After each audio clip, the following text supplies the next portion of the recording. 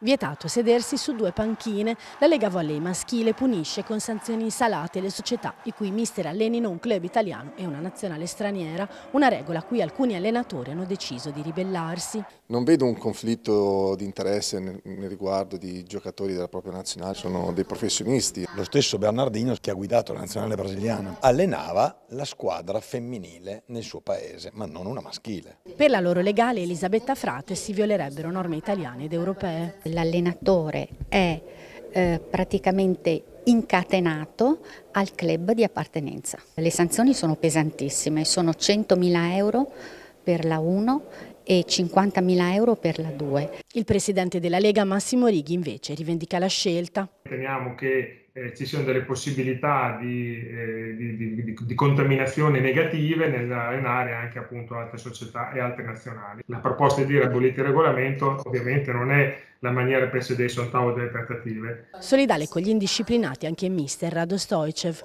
Lo fanno i giocatori, Uh, ugualmente per fisioterapisti piuttosto che altri ruoli, dirigenti anche. La misura colpirebbe anche i secondi allenatori, per esempio De Cecco della Slovenia che per sedersi su una panchina italiana ha dovuto aspettare la fine della stagione internazionale. Con i soldi che prendo in un'estate eh, riesco a malapena a pagare le rate del mutuo e a pagare l'asilo per i miei figli, per cui questo dovrebbe dare la dimensione di quello che è lo stipendio di un assistente allenatore in una nazionale. Una regola che per la Lega tutela i club ma che non vale all'estero né in altri sport come il basket.